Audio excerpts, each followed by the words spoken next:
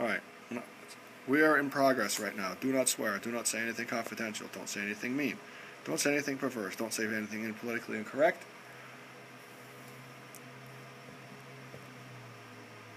This is product placement. It's here.